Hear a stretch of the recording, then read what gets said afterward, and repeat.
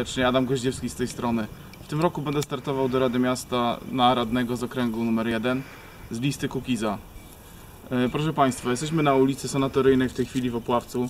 Zaprosiłem Państwa tutaj, żeby pokazać jak tutaj wygląda e, ulica. No widzimy jak, jak to jest. E, Okręg, z którego startuję, w większości są to dzielnice peryferyjne, na których właśnie bolączką mieszkańców jest brak utwardzonych ulic. Ulice częściowo są utwardzane, częściowo nie są. Opławiec jest akurat e, dzielnicą również i Smukała, zapomniane mi całkowicie. Na Piaskach mamy ulice niektóre utwardzone, na Czyszkówku również, a w Smukale i w Opławcu nie mamy utwardzonej ani jednej uliczki osiedlowej. Są główne ulice wyasfaltowane, a jeżeli chodzi o uliczki poboczne, są zapomniane w 100%, w ogóle nikt tutaj nic nie robi.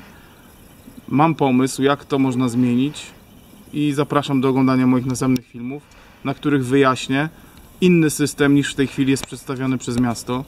System, który mieszkańcy znają 25 na 75, czyli 25% mieszkańcy muszą uzbierać swoich pieniążków, żeby tę ulicę y, utwardzić, a 75% dorzuca miasto.